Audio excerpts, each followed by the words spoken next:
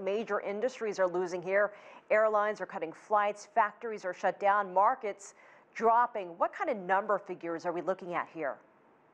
Well, we don't have very good numbers yet. I think uh, you know we face a very uh, chaotic situation right now, but we know for a fact that uh, several industries, especially in the service industries, as you mentioned, are greatly affected. Airlines, the hotels, the restaurants. Uh, but as this thing drags on, it's starting to fester into the manufacturing sector uh, because uh, you know workers are advised to stay at home right now. there are many companies, for example, based in Wuhan uh, exports uh, coming out of Wuhan are greatly affected. So I think initially the manufacturing sector and as well as the service sector in China are greatly affected. But it doesn't look like this is going to end very soon. I'm pretty sure that the impact is going to be felt across the border into the rest of the world as well as the supply chain is going to be affected as well.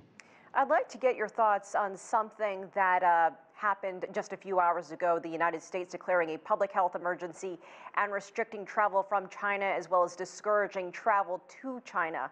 I um, want to get your thoughts on that.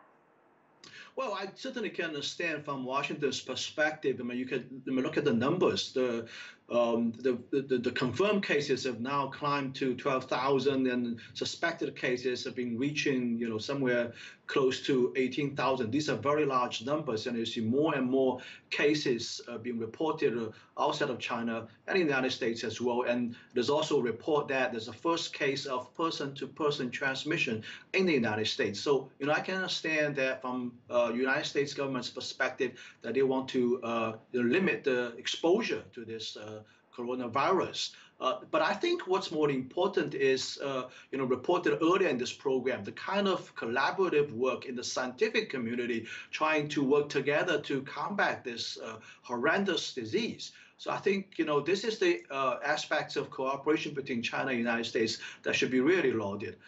And a lot of goodwill with other countries sending in supplies. Um, this is supposed to be a festive uh, time of year inside China where you are, how much has the coronavirus impacted spending for the Chinese New Year holiday? I know some people were buying food gifts, all sorts of things before um, the travel restrictions went into effect. But talk about what's happening now with spending with people cooped up inside their homes. Well, I think um, there's two things going on. One thing is that people are definitely minimizing uh, their expenditures outside of home. Uh, on the other hand, we are seeing, I'm starting to see some um, you know, sort of panic buying, uh, stock up of uh, uh, groceries, uh, preparing for the worst. You know, these things introduce a sort of a demand shock into the system.